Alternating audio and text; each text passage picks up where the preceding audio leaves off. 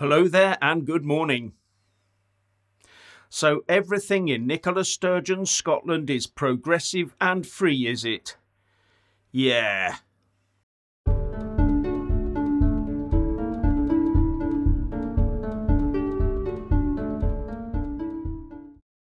The SNP has an attitude of Scotland being a progressive place where everything is free.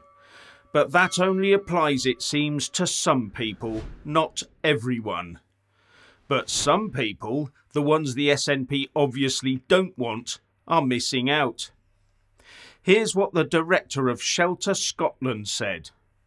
When I learned that councils were asking our clients to leave jobs and family in the central belt to take up accommodation in England, I did a double take.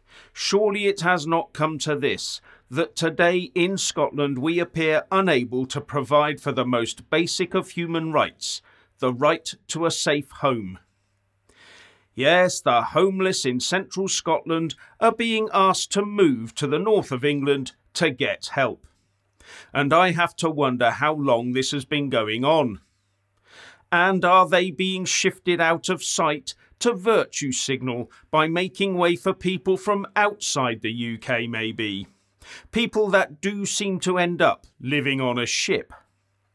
Now, here's the thing homelessness across the entire UK fell during the pandemic after local authorities were instructed to get them off the streets and safe. But homelessness is now rising again. And bear in mind, homelessness means on the street or in temporary accommodation or sofa surfing with friends and family. Now, according to Crisis, rates of core homelessness are substantially lower in Scotland, 0.57% of households, than in England, 0.94%, and Wales, 0.66%. So local authorities in England have higher homeless rates, but Scots homeless are being sent to England. And maybe that's why the rates are higher in England. Scotland gets 30% more in funding per capita via the Barnett formula than England does. And Scotland has higher income tax rates so that it can supply all that progressive free stuff that the SNP says that it wants to. So if England is taking the homeless from Scotland, then which are the real progressive ones?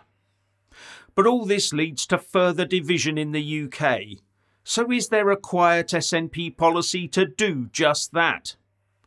Nicola Sturgeon likes to put on a display that Scotland, under SNP administration, is capable of doing everything for itself.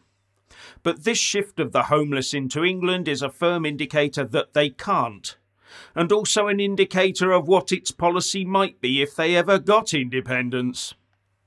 In fact, the Scottish Homelessness Service appears to be on the brink of failure. Now that I've had a pop at the hypocritical SNP, for balance I will point out that in 2020 councils across England were reported to be acting against homelessness guidance to keep people in their local area by shifting people about from English borough to English borough in their droves and we all know why house prices and rents are so high and why there's a lack of affordable accommodation for those people, don't we?